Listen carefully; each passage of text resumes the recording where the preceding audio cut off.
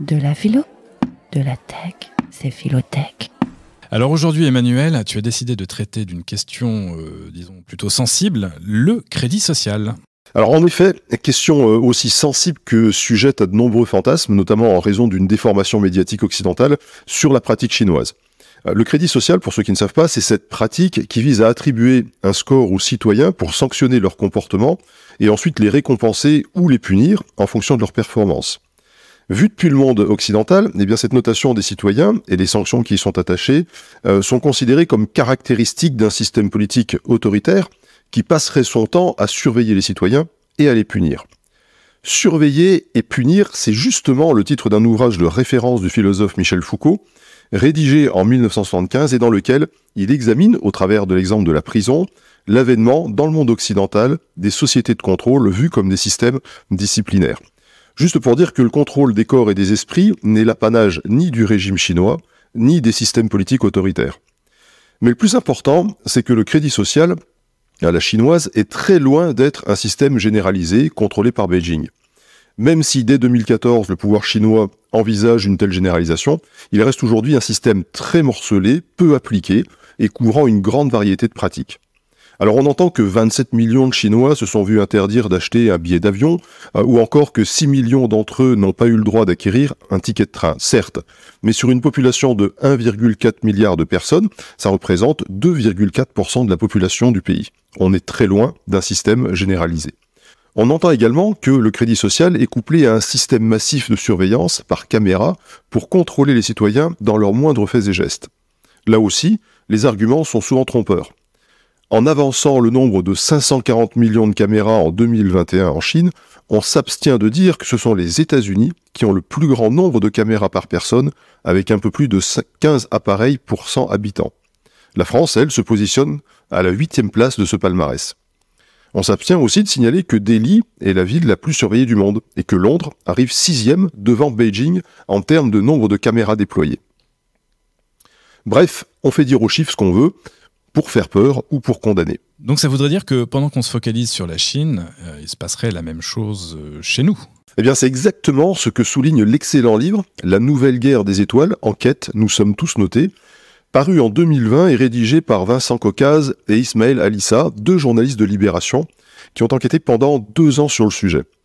Ce que les deux journalistes nous apprennent, c'est que d'une part, le fameux crédit social à la chinoise est loin d'être cet outil de contrôle des populations dirigées par l'État, et que d'autre part, loin d'être une spécificité chinoise, le système de notation sociale est une pratique courante en Occident.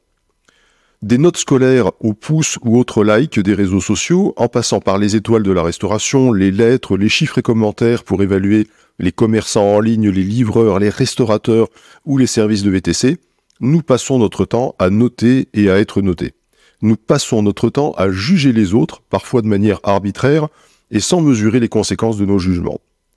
Ce que les auteurs nous apprennent notamment, c'est que cette frénésie de notation ne vient pas d'Orient, mais du célèbre Ignace de Loyola, père fondateur des Jésuites, qui en 1540 veut, je cite, bâtir une nouvelle élite intellectuelle pour faire pièce à la réforme protestante.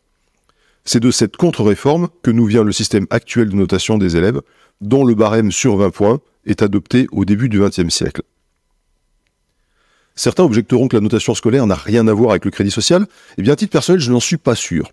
Tout d'abord, la notation permet d'évaluer les élèves sur différents critères, dont le comportement, et de sanctionner positivement ou négativement, comme le fait le crédit social.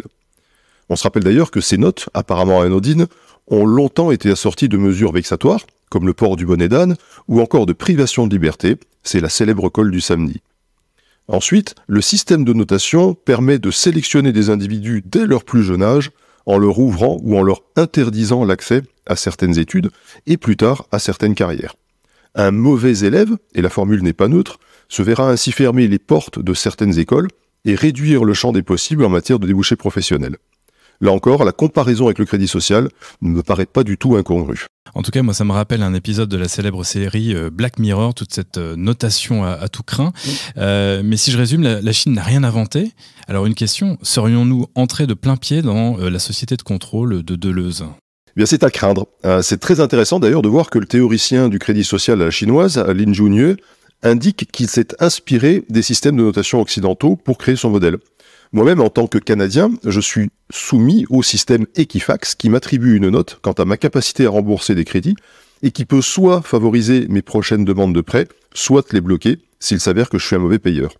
En France, les caméras se sont multipliées avec Nice en tête des villes les plus surveillées.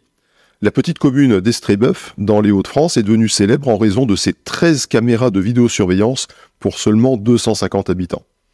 Ailleurs en Europe, le crédit social s'installe insidieusement avec, par exemple, à Bologne, la mise en place du portefeuille du citoyen vertueux, le Smart Citizen Wallet.